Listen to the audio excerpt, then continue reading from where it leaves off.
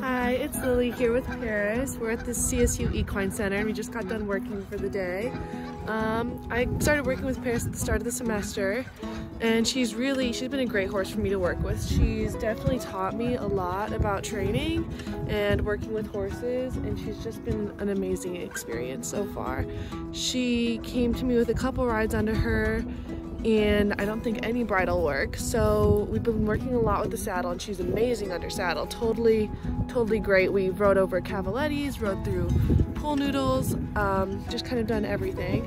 But right now we're working a lot on the bit and trusting the bit and kind of figuring out why it's in her mouth and stuff. So we did some of that today. She's been a trooper so far. She's not the biggest fan of it, but we're definitely progressing. Um, Paris has a lot of anxiety and a big personality, but I love working with her because she's so expressive and she tells me like when she's comfortable and when she's uncomfortable and like what she's okay with and not okay with. So it's kind of great to see that side of her and to know like what boundaries she has, but also to be able to set boundaries with her. Um, so we've been working on kind of stopping with me, paying attention to me, um, not running through gates with me, um, and so far she's been pretty good. She's definitely made a, a lot of progress. Um, she's been a great horse to work with. I really love working with her. She picks up all four feet when I groom her. She loves stretches. We've been doing a lot of stretches. Sorry, she's bothering me. um, we're doing a lot of stretches because she has scar tissues in her shoulder and she really enjoys the front leg stretches. Um, so we've been doing that to, to help with some stiffness there.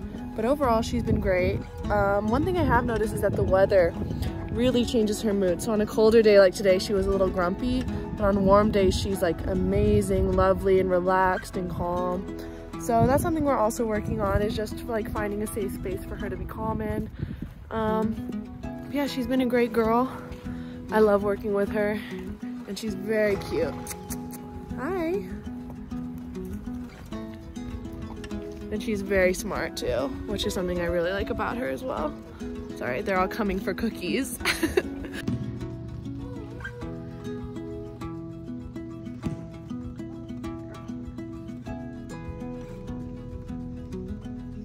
Something else I like about her is, is how brave she is. She doesn't spook it at anything. She's, the only thing she spooks at is a wheelbarrow actually.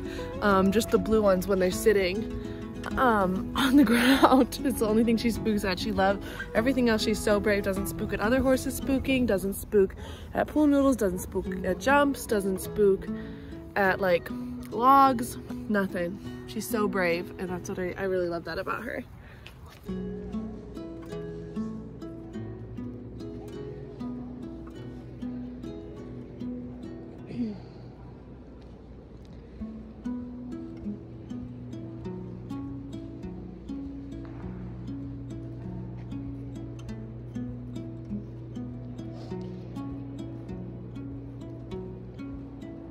Girl. Do a little jog if you want. Good.